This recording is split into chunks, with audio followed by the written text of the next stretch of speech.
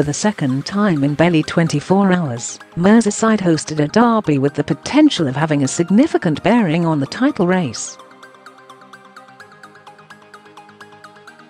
And as with the first team at Goodison, it ended in disappointment for Liverpool under-23s as they were beaten at Anfield in the mini derby on Monday evening.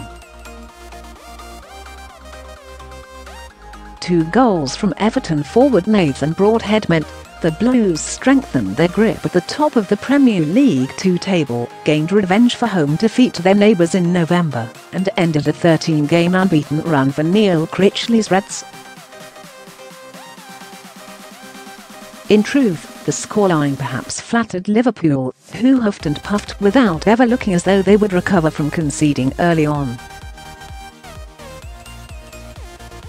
Everton, fast and physically strong, had already sounded a warning with Lewis Gibson's looping header striking the bar when they went ahead in the eighth minute.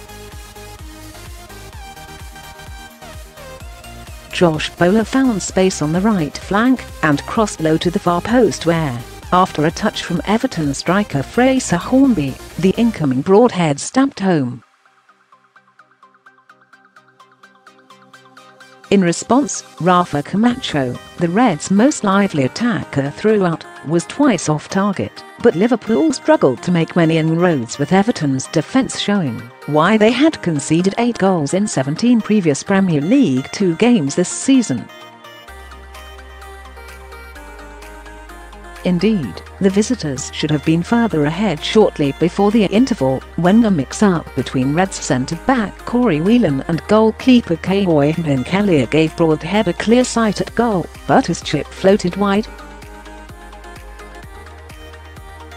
Liverpool midfielder Isaac Christie-Davies nodded over after half-time, but the Reds were fortunate as Bassala Sambou was wasteful after a lightning Everton break.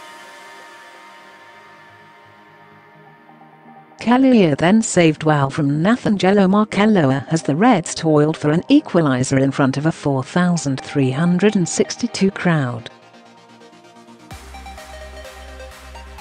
Irish forward Glenn McAuley was introduced in the final quarter as Critchley side sought a spark, but Everton once more came close as George Johnston's sliding tackle denied Broadhead.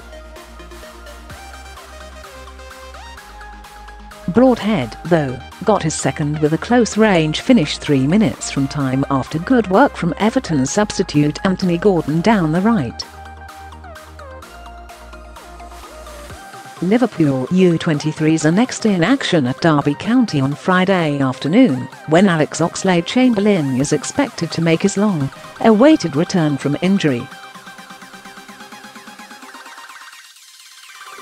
Liverpool U23s Kelleher, Hoever, McAuley 74, Whelan, Johnston, Lewis, Coyle, Gallagher 66, Randall, Christie-Davies, Camacho, Woodburn, Jones. Subs George, Gianma, Masterson,